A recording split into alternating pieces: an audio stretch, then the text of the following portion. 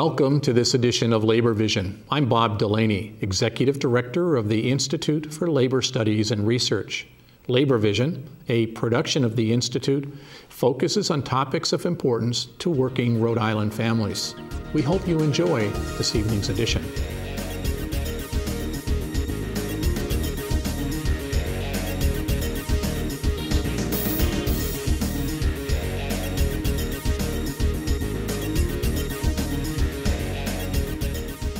Good evening and welcome to this edition of Labor Vision. My name is Jim Riley. I'll be your host tonight. Tonight, my guest is Chris Callaci, General Counsel over at UNAP, which is currently involved in bargaining with uh, Fatima Hospital in North Providence. This is a for profit hospital owned by Prospect Care. Bad guys. So, Chris, give us an update about the bargaining with Prospect Care.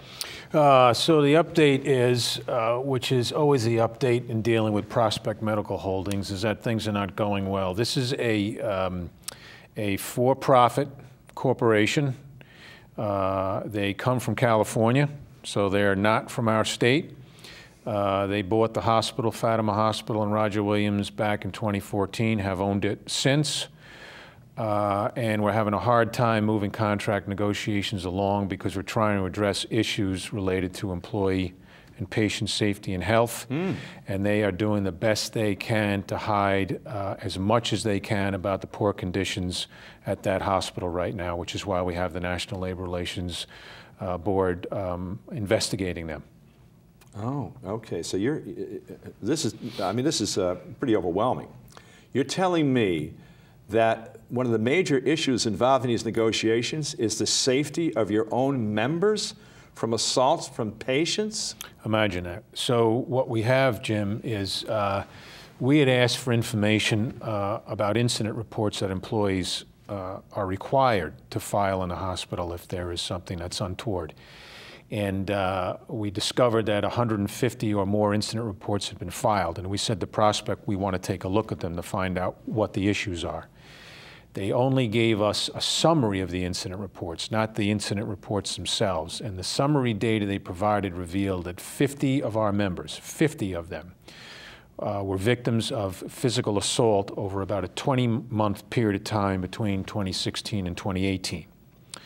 Uh, and so um, we asked for the incident reports themselves. We wanted to find out where the assaults were taking place, the severity of them, we wanted to question Prospect about what measures, if any, they've taken to correct this problem.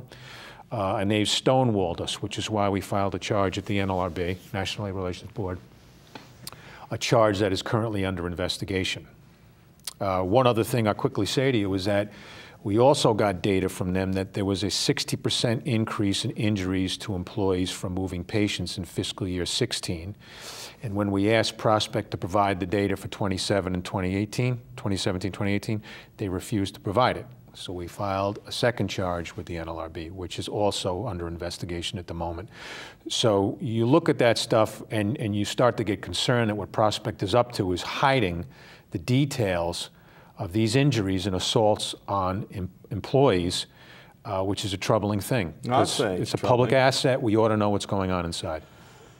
So what's the plan moving forward? Are you planning on taking, but, but, but, let me ask you this first. Is there an expiration date on this contract? Contract expires tonight at midnight, January oh, 31st of 19. Okay. Well, if I was Prospect Care, I would take a good look at what happened at Rhode Island Hospital uh, recently with the UNAP and, you, and the wonderful support that you got from your employees. That was a historical uh, strike.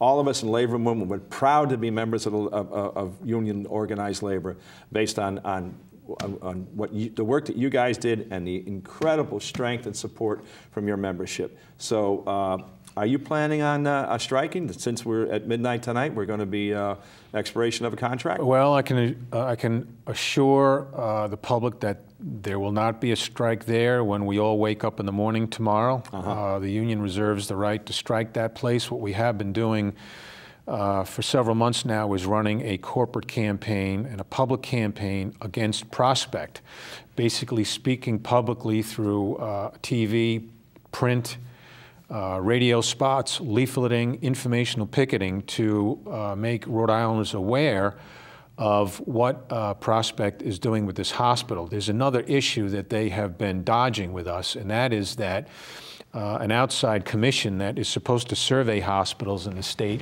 did a survey of Fatima Hospital back in the fall of 2017 and found 30 deficiencies that they required Prospect to correct. We asked Prospect to provide details about the deficiencies. Their response uh, was what it always is we're not going to give it to you. Uh, we filed a charge with the NLRB.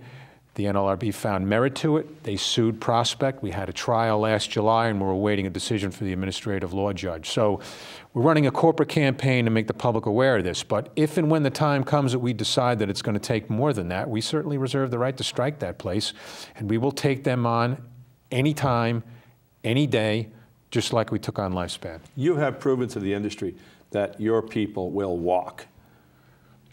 We will walk and uh, we'll do anything else that's required. We have gone after Prospect in the General Assembly. Uh, they tried to advance a couple of pieces of legislation last session. Uh, we're proud to say that we made sure that that legislation went nowhere. We asked state reps and senators to stand with the working families of Rhode Island and not this corporate entity that's not even from this state, and they agreed to do that. So whether it's whether it's uh, uh, interfering with their legislative agenda or their effort to, to, squeeze another dollar out of that place at the expense of employees and patient safety, uh, or going on strike or picketing or whatever it is, will be on them uh, uh, now until the end of time until they change their behavior. Terrific. Well, you're keeping the board busy, aren't you? Keeping the board busy. I was an organizer for many years. I used to keep the board busy too. Yeah. So, where do these prospect properties rate when it comes to care? Uh, are these facilities that should be first choices right now? Uh, are, are there metrics that say otherwise? Well, uh, my answer to that question, Jim, would be as follows.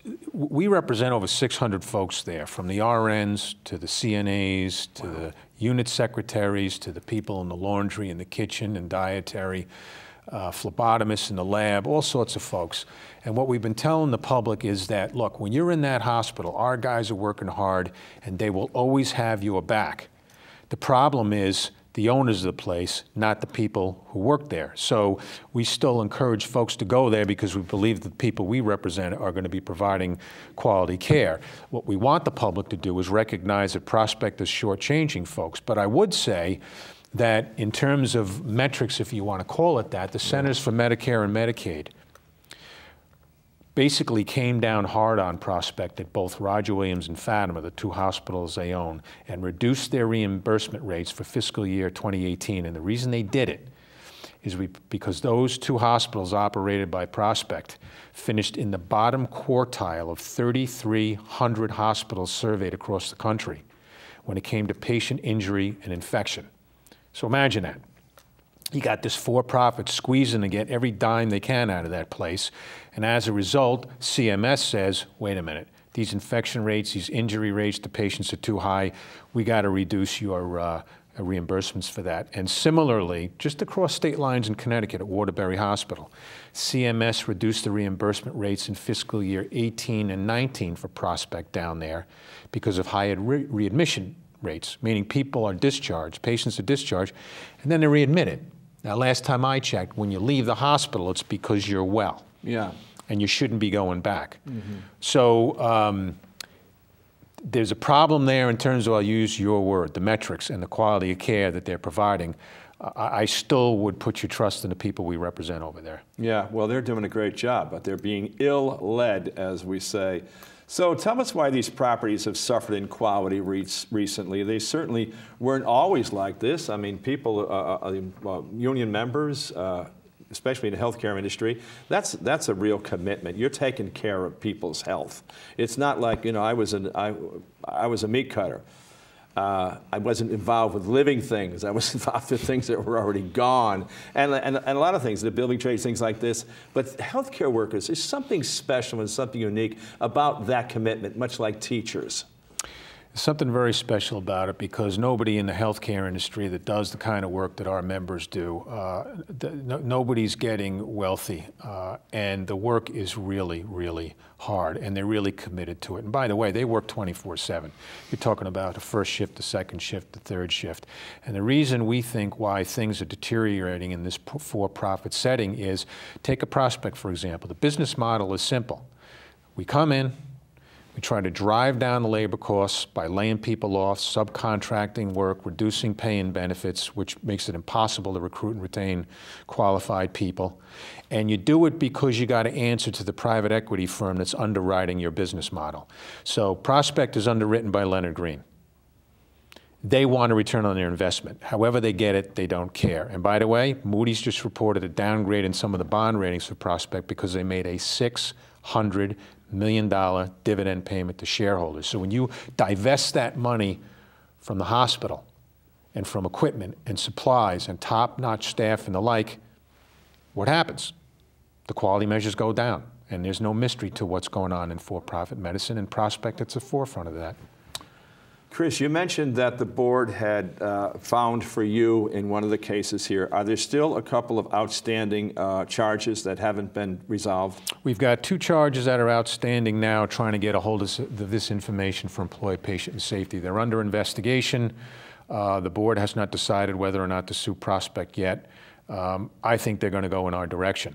Uh, so in addition to that trial we had in the summer of last year, we got these charges pending now. We're waiting for the board to make a decision on whether or not they're going to go forward. Okay. Um, how is it e easy? Is it working or difficult working with uh, Prospect? Are they bargaining in? Good, do you think they're bargaining in good faith? And do you think you'll ever get to the point of negotiating true terms? I think we'll get uh, to the point of negotiating true terms because we're going to make them negotiate true terms. Mm -hmm. um, we're uh, going to be in their grill from now until the end of time. So they'll come around. They'll come around simply because we can hurt them. Um, but it's like pulling teeth with them because you know they're not interested in harmonious labor relations with us or anybody else. They're interested in making a quick buck and passing that along to Leonard Green and to their shareholders. But shareholders, but um, I assure you that uh, our union has a proud history. We're strong. We know how to throw a punch. We're not going to take any you know what from anybody, including Prospect. We're going to stay on them. Everywhere they go, we will be there, and they'll modify their behavior enough for there to be a decent contract here. I'm pretty confident of that. Now, you talked about a corporate campaign. I want to get back to that. Um, look, there's a lot of people that uh, don't really know what's going on over there uh, with, the, with the problems that your, your members are having uh, with these assaults and, uh, and bad faith bargaining by their employer. What, what, what, are, what are we going to see? What is the public going to see in your corporate campaign leading up to hopefully a, re, a resolve in this before we actually have to go on strike? So uh, you'll see uh, more of what we've started, and that is, is that we do a, not, uh, do we do a lot of radio uh, ads exposing Prospect for all the shortcomings that I've discussed on your program today. Um, we will do uh, TV ads have you done any ads yet? Uh, we just finished a two-week uh, uh, radio spot attacking them for their role in the collapse of the St. Joe's pension plan. They've been oh, sued in state and federal court yeah. over that as well. That's big. So we just ran two weeks worth of radio spots on that. We'll be going up with more radio spots on the health and safety issues. Um, you'll see a lot of print stuff that we'll put out. we just started doing mass uh, leafleting at all of their outreach centers all over the state. We'll do more informational picketing. We'll submit op-ed pieces. We'll appear on shows like yours. Uh, we've, we've appeared on several of the shows uh, in the state. We've done mailings into the General Assembly. We'll probably start targeting the City Council in North Providence where, where Fatima sits. Uh, so those are uh, quite a few of the elements of the campaign uh, that Rhode Islanders will see unfold over the course of the next weeks and months. Um, has the company, Prospect Care, uh, have they uh, answered uh, to, to, this media campaign you've had? Are they doing anything on their own? Uh, remarkably, they've done very little uh, uh, in terms of responding to the press coverage we got on our picket last week. They had a, a, spokesperson put out a statement saying that they thought that the picket was premature and that they look forward to getting back at the table. They did not refute our claims of health and safety problems. So they're really not responding. Okay. Chris, it's been great to have you on the show again. If I was Prospect Care, I would be wanting to, to get to the end of this real quick because you guys have proven that your members will stick with you. Thanks a lot, brother. Jim, thanks All for having us. All right, my friend. And that's it, this edition of Labor Vision. See you next time.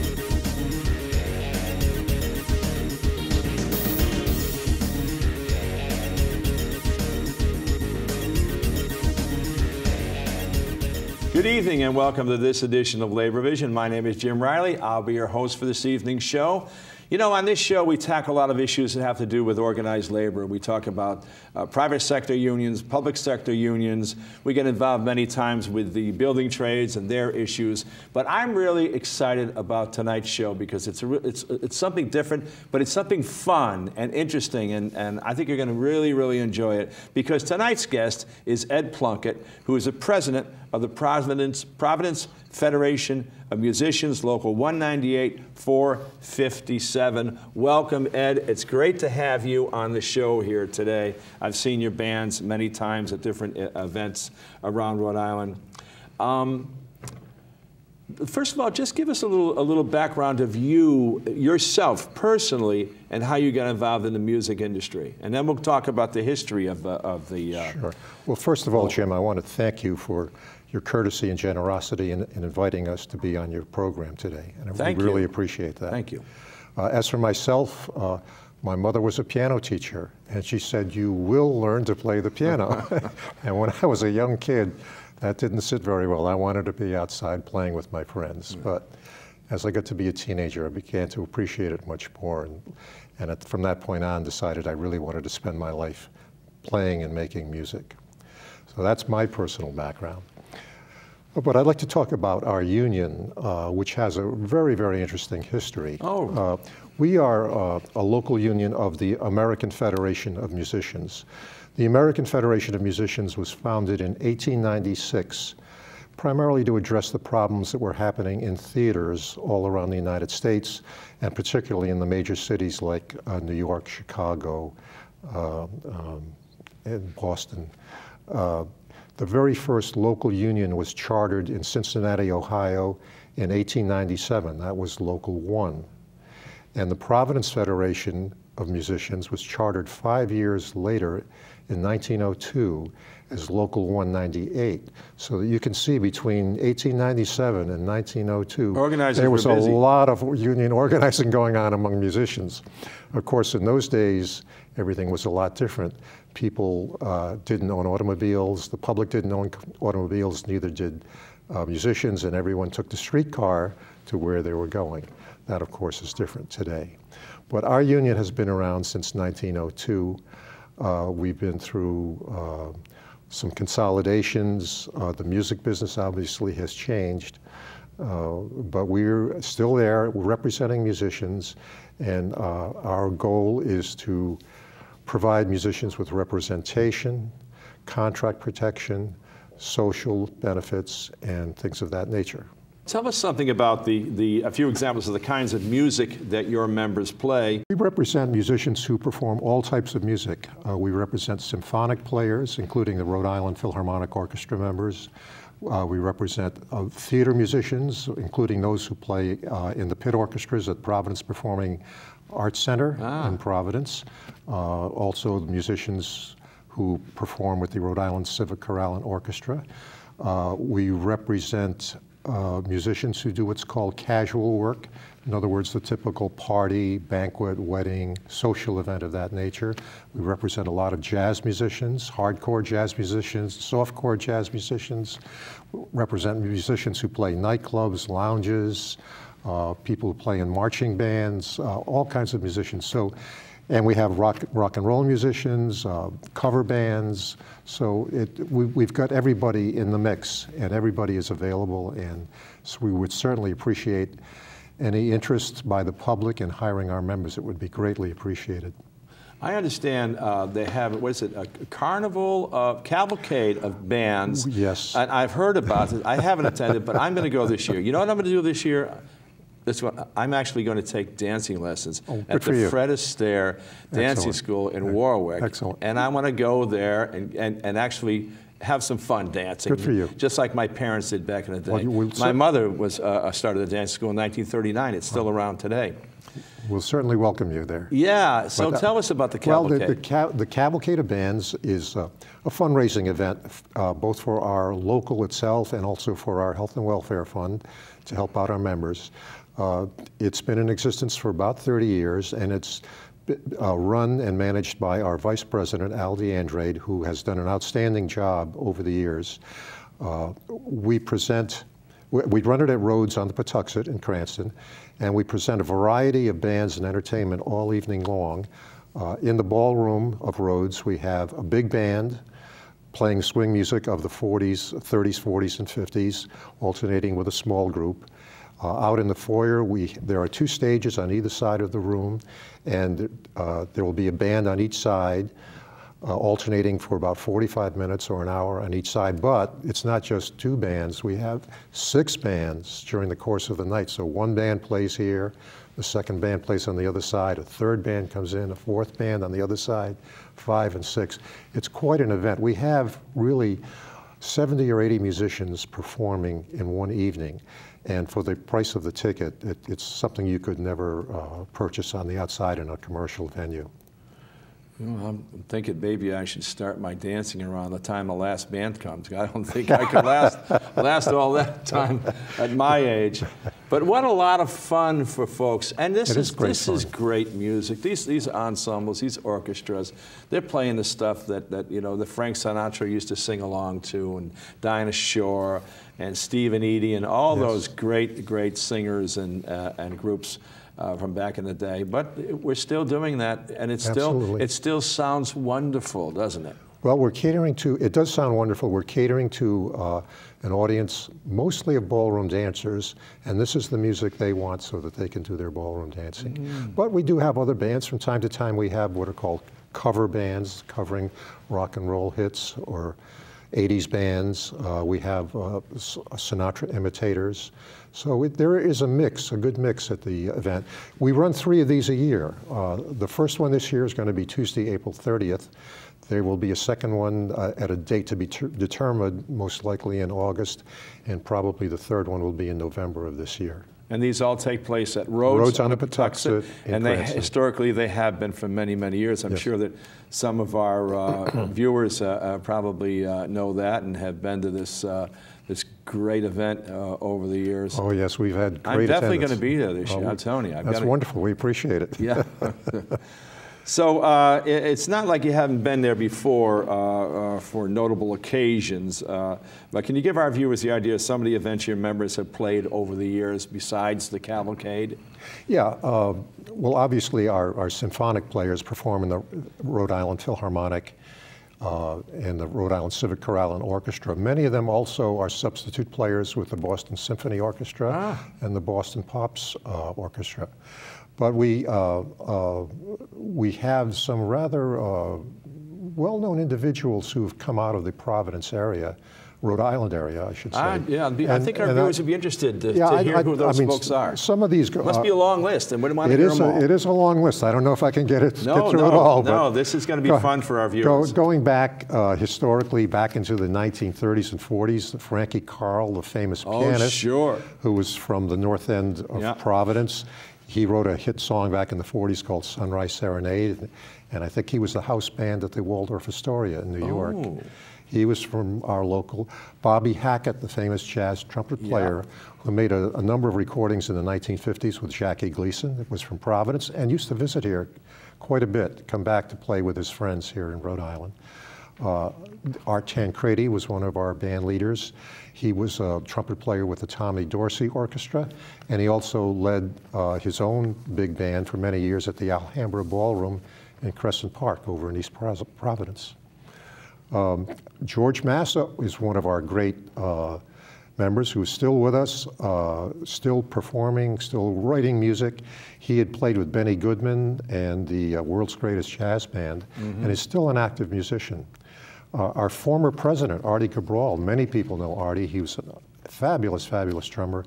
Played with uh, the Woody Herman big, big band. Played with all the famous jazz names that had come into Rhode Island for many years. Uh, worked most recently with Mickey Rooney before Mickey passed on. Ah. And of course, I think our premier member at this time currently is the great pianist Mike Renzi, uh, who, uh, by any standard, is probably the the best vocal accompanist in the United States at this time. Wow. And you can you can uh, judge that by the names of the people he's worked with. He worked on Broadway with Lena Horne.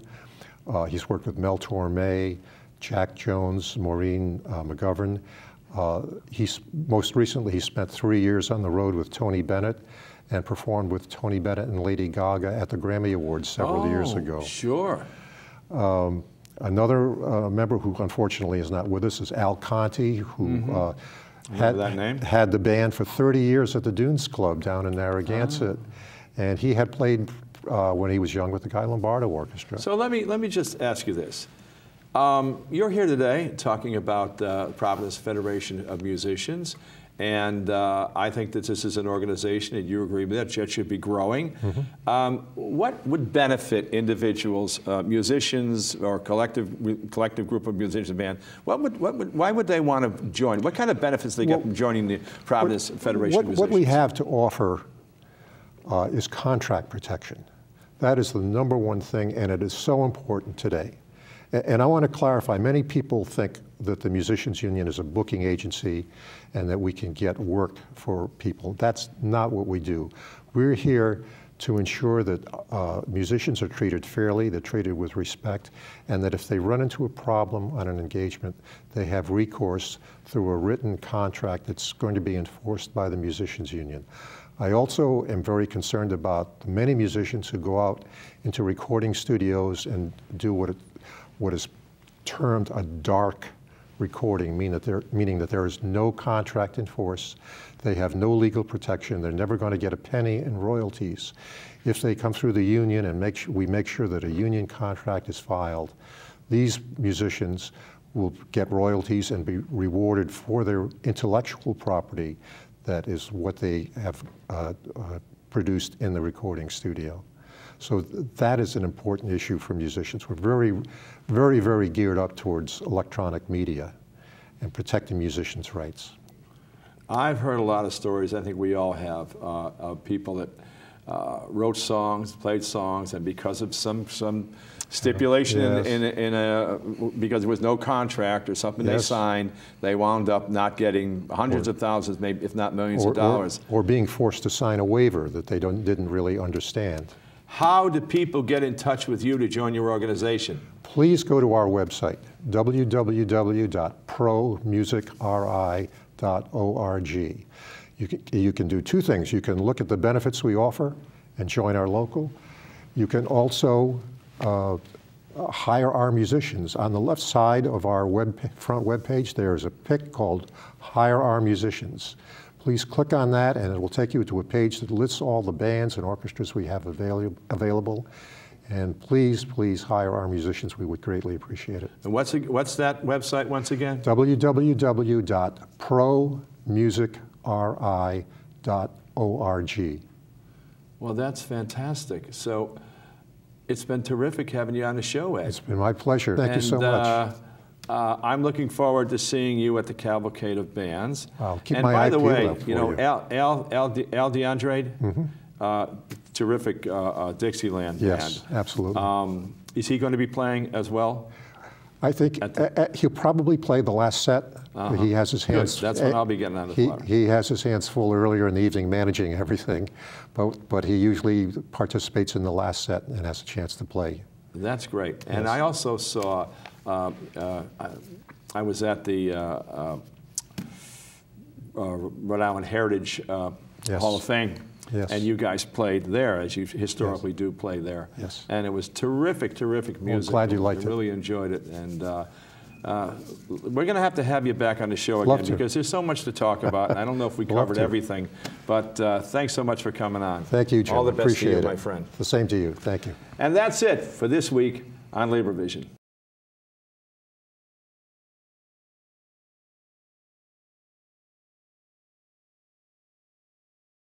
Thank you for joining us for this edition of Labor Vision. We appreciate your input and encourage your comments. Labor Vision can be seen on this channel three times each week Tuesday at 7 p.m., Thursday at 8 p.m., and Saturday at 5 p.m.